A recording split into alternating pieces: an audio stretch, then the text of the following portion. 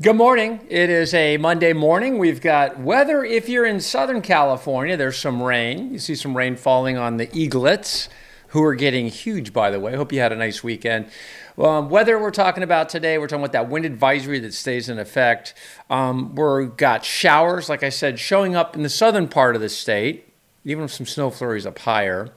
Temperatures this week warm back into the mid and even upper 80s. We might even see a low 90 in the Central Valley. Uh, the surf forecast for sure. And we're going to look at allergies because this heat, this warm up this week, I've gotten a lot of reports of folks noticing allergies the last week or so significantly, but this week is going to go ballistic. We'll talk about the allergies as well.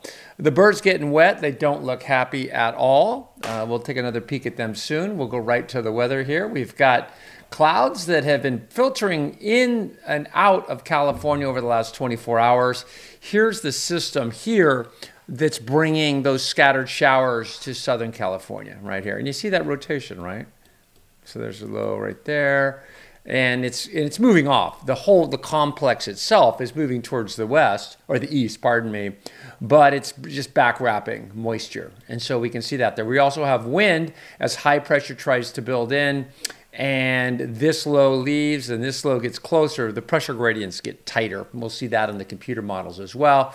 And then in the East Coast, this is going to be something today for sure. As a matter of fact, when we look at the um, the travel forecast, you're going to see an area of severe weather that includes millions of people. It's going to be a lot of people again. So they've had a busy, busy uh, couple, couple of three weeks in the nation's midsection in the Tornado Alley and part, certainly Texas.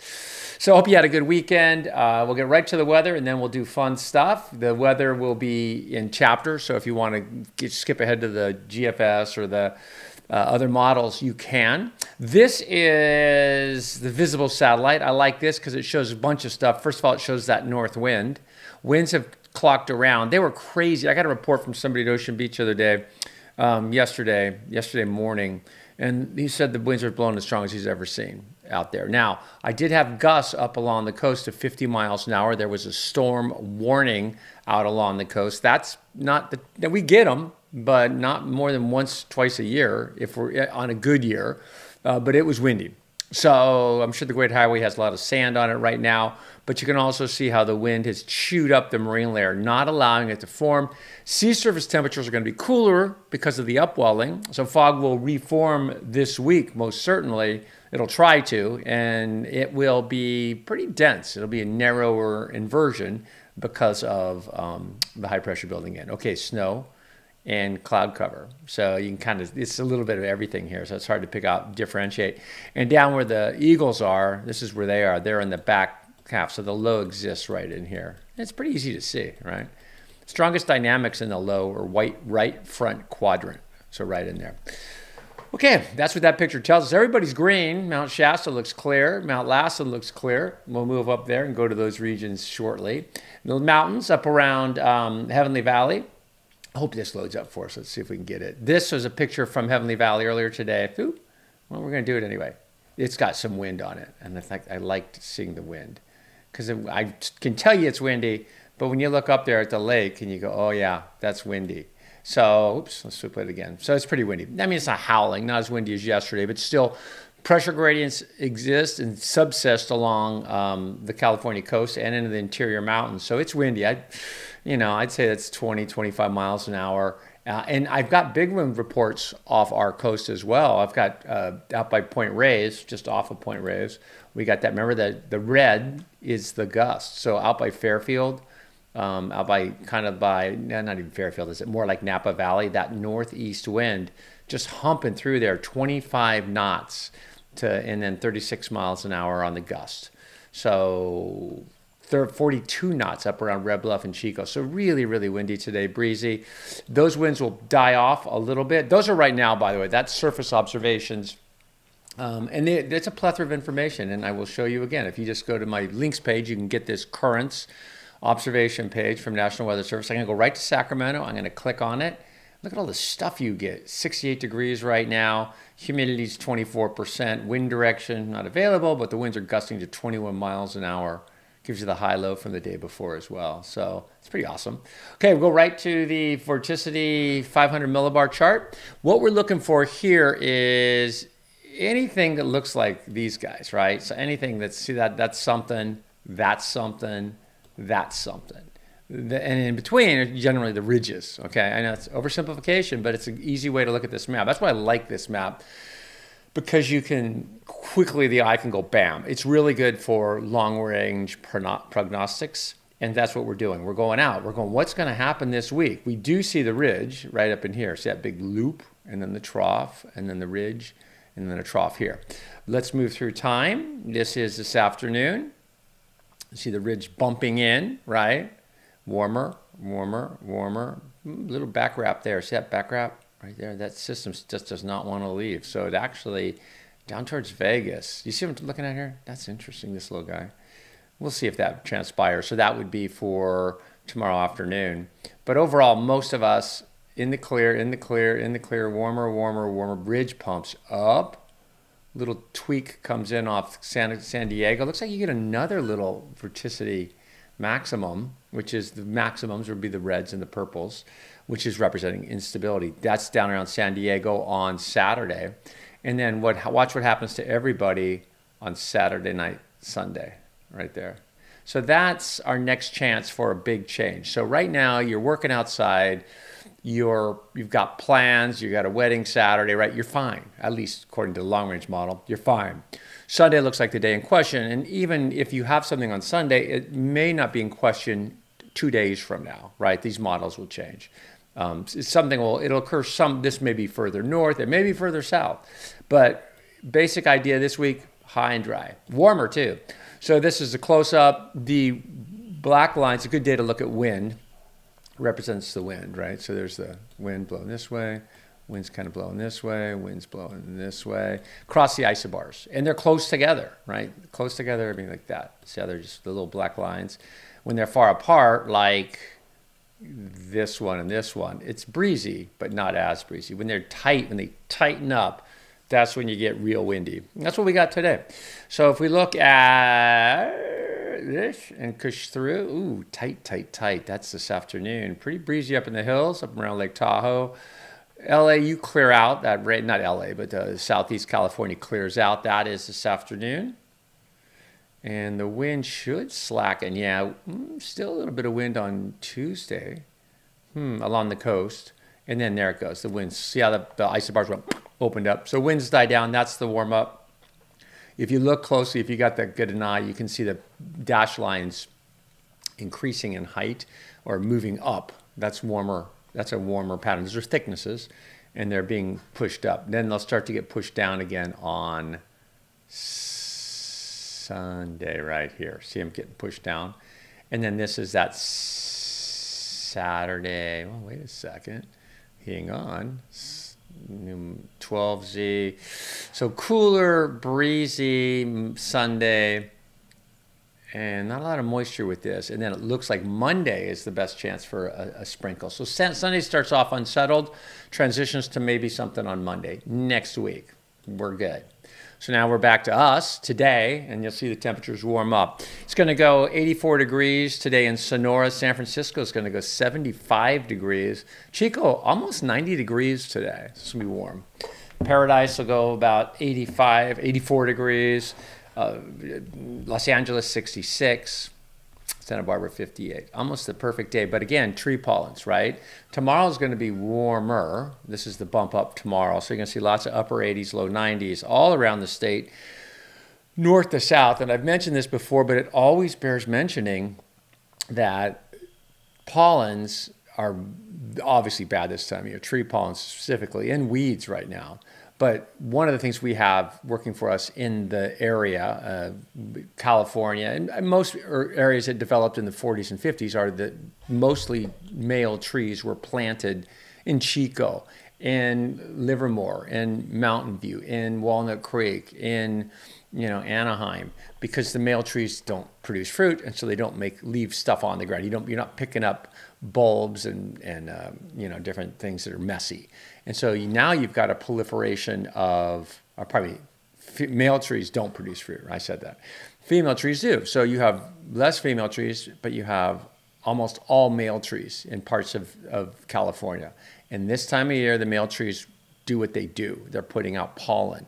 And so the tree pollens in California and probably throughout the rest of the country, this was sort of a thing that they figured out in the 40s and 50s that these trees, the trees, how, you know, if you develop these developments are actually part of the 50s too, right? The, the development, this sort of approach to how we build. And that's what happened. So you will notice the grass pollens, the weed pollens, and the trees are not letting you go.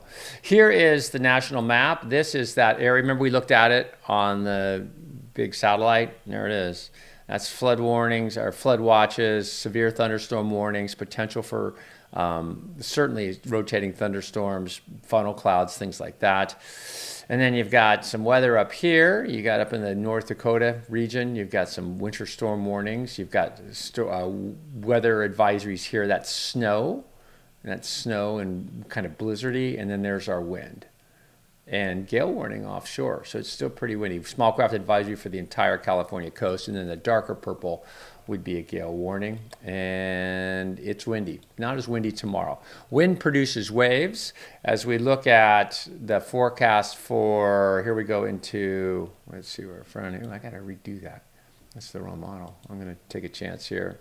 See if I can do it. Sorry about that. I, it must. The model wasn't refreshed. Okay. All right. So here we go.